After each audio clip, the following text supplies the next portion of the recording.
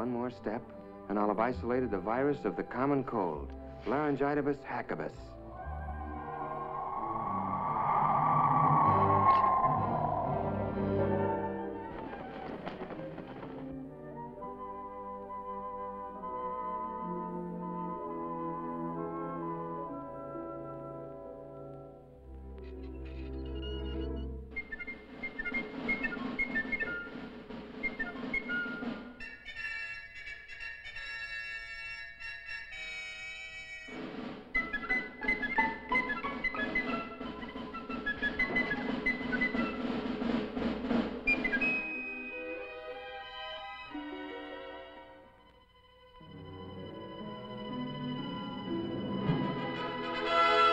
Illudium Phosdex, check. Anti-proton ballast, check. Prepare afterburners for blast off.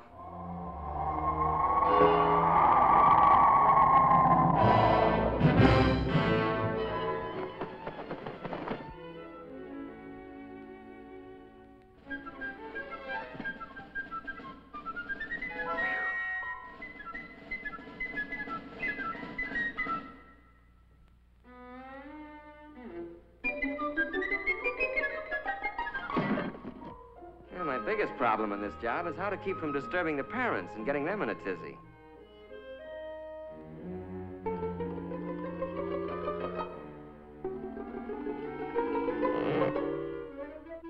Rockabye doggy in the treetop. When the wind blows, the cradle will rock.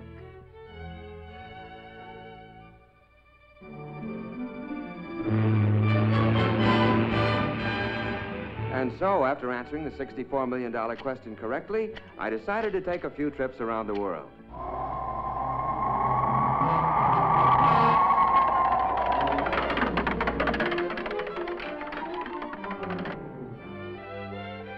About time we threw a little light on the subject.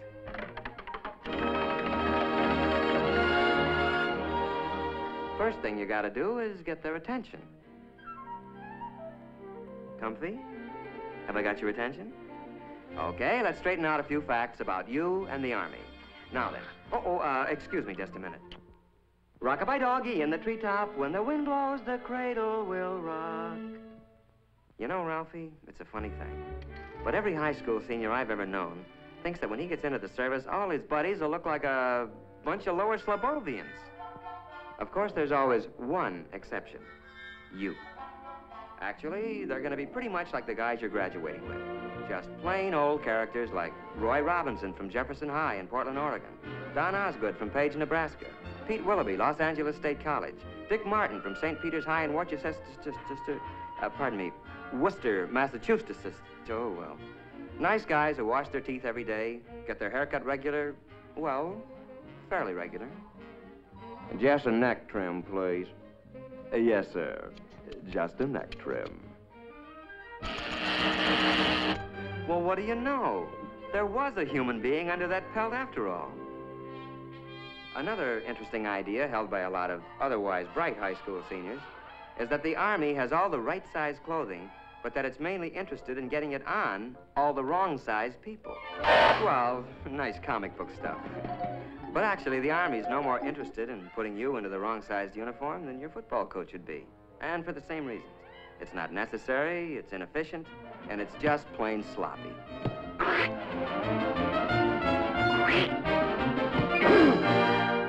In other words, you'd be pretty useless to yourself or the team. You know, according to some comic strip artists, our fiend here, uh, our friend here, is the kind of non-com you find in the Army.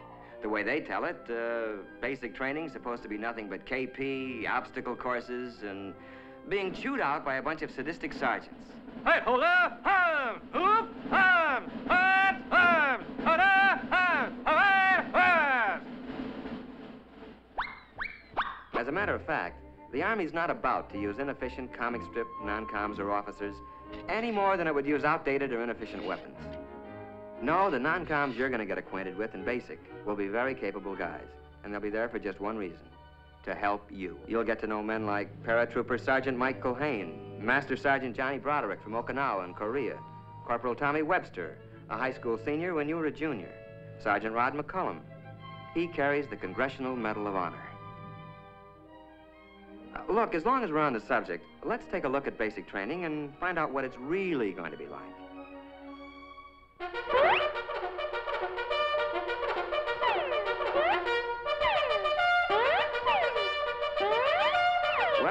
You're going to learn a few things at basic. Useful things, like how to handle weapons safely and effectively.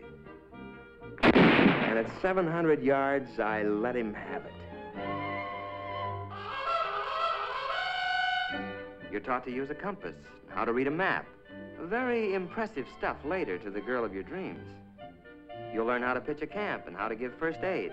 Uh, the sort of knowledge that other uh, people will respect someday. You're also going to develop muscles that'll be useful later. Uh, some you didn't even know you had. But then, uh, it's not a bad idea to keep in shape for recreation, like boxing, football, skiing, and other uh, sports.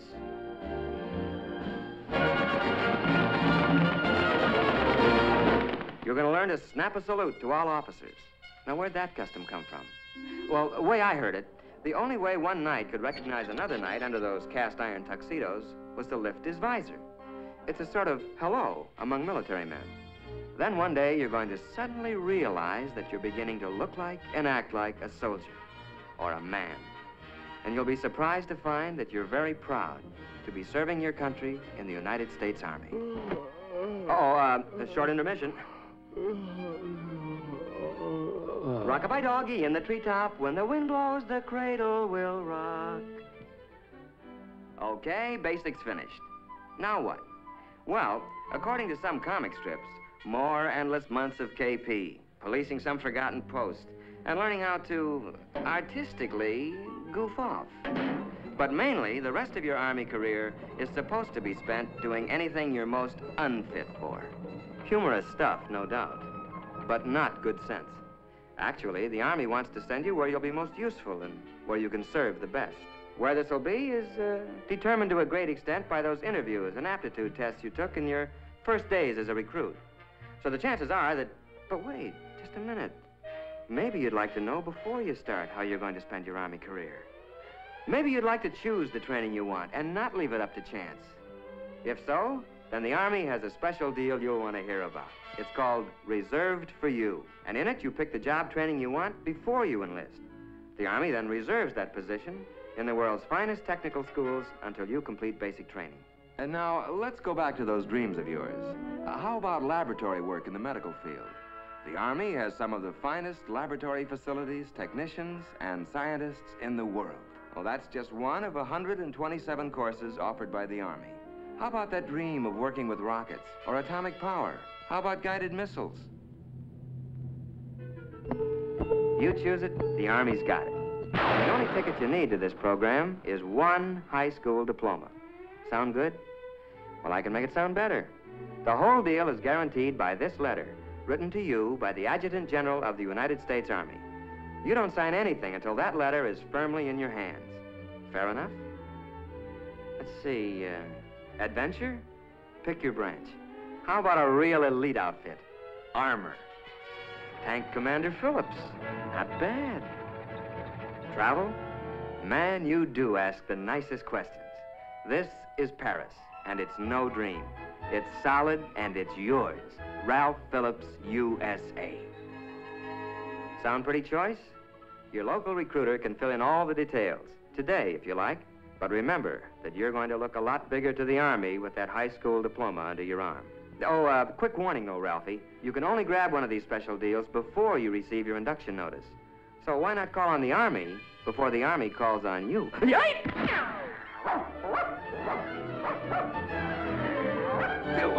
What's the matter with you? You gone nuts or something?